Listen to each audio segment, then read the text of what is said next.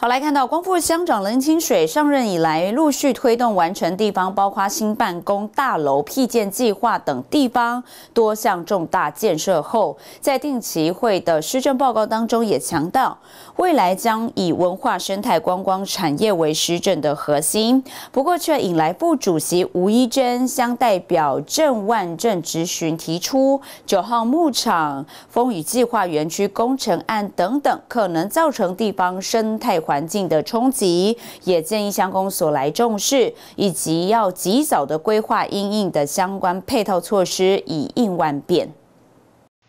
乡代表郑万正紧扣着乡长林清水在市政报告结尾强调的，以文化、观光以及产业作为这一届任内的市政重点，提出了四项建议。我们当时呃就是提出了七百万啊左右的一个预算。那现在联储会给我们一百九十多万嘛，就刚好做框面。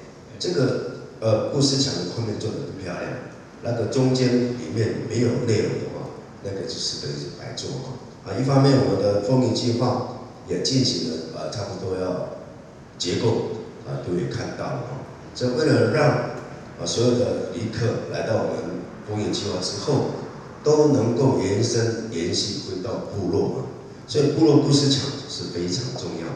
除了建议乡公所提早规划风雨计划案的配套措施之外，郑万正也建议路牌环境的维护整理以及流浪犬为患的问题能尽速解决改善。而同样也关注乡长施政报告的副主席吴一珍连日来的总值巡议程中，紧追着九号牧场对部落环境的冲击，以及探究环保升级公司。进驻推动黑水盟产业争议，建议乡公所重视，切勿置身事外。我们如果没有去注意、去关注，会不会增加？会不会？应该会，从两百五十头变两百八十四头了。那下次会五百头，再下次会满一千头。沼气池、会务池、发酵池这些，所以还是要请。我们身为公仆的，帮我们铺一条路，我们要进去看。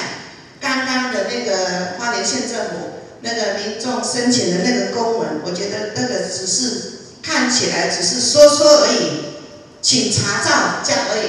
最后，所以这个我们不能接受。机关的哈，核定是核定前在那边，但是后关的这个呃之后的这个有关环保有关这个的话，如果有。空污有废水，当然我们接受到全景的话，我们会请我们没有那个设备去验的哦，我们会请环保局来加强来来做监测的。光复乡长林清水展现行政最大效能，推动完成地方各项重大建设案件。连任后，林清水也全面朝向地方生态、文化、观光产业来建设发展。乡代会支持肯定的同时，则咨询提点建言，环境卫生安全的维护、人文景观特色的营造以及相关产业开发案可能造成环境生态的冲击，将会是乡公所亟待克服突破的难关。记者石玉兰光复采访报道。